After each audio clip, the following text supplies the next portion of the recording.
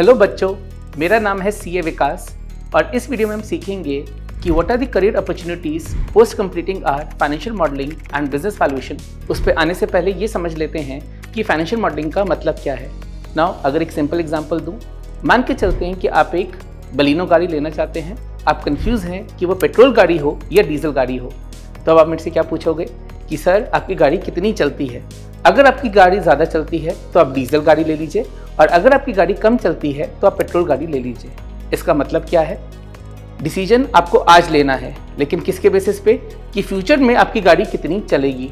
Same wise companies भी क्या करती हैं? कंपनीज़ पैसा आज लगाती हैं, लेकिन उसके लिए उन्हें फोरकास्ट करने पड़ते हैं कि हमारी सेल्स क्या होगी, हमारी कॉस्ट कितनी लगेगी और हमारी प्रॉफिटेबिलिटी कितनी होगी।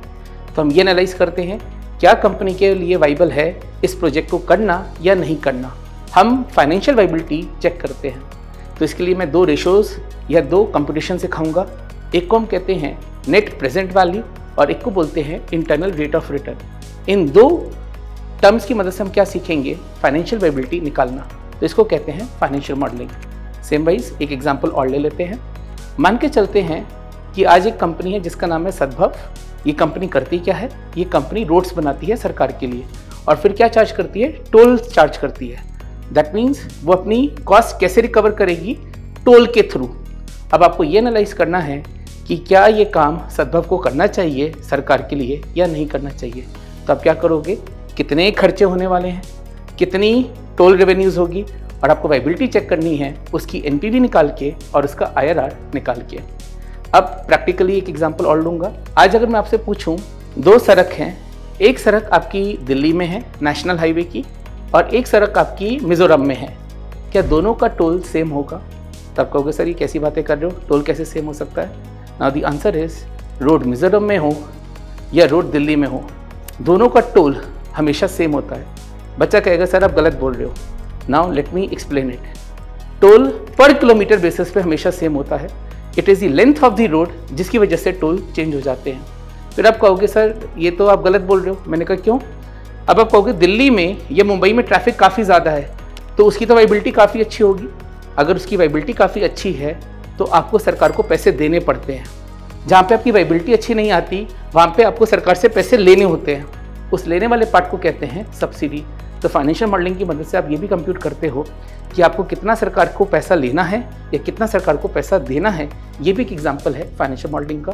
और मैंने आपको अभी एक फैक्ट बताया कि नेशनल हाईवे का हमेशा टोल पर किलोमीटर बेसिस पे क्या होता है? बिल्कुल सेम होता है।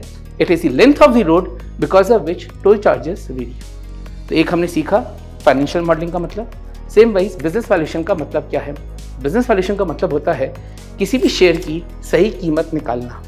आज म्यूचुअल फंड कंपनीज़ है हेज फंड कंपनीज़ है, ये आपके भी आप पे क्या करती हैं? शेयर्स को खरीदती हैं और एक समय के बाद उस शेयर को बेच देती हैं। तो कब मुझे शेयर को खरीदना है या कब मुझे शेयर को बेचना है, इसको कहते हैं वैल्यूएशन तो इसको हम क्या क्या सीखेंगे? एक फाइनेंशियल मॉडल्स बनाना सीखेंगे। दूसरा बिज़नेस वैल्यूशन करना सीखेंगे।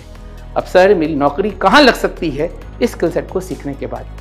नंबर वन जो आपकी नौकरी लगेगी that is going to be in valuation firms अगर मैं बिग फोर की बात करूँ, जैसे कि E Y P W C मैं खुद सी ए हूँ और मेरी जो एम्प्लॉयमेंट थी that was with Ernst Young Ernst Young के किस डिपार्टमेंट में मैं नौकरी कर रहा था?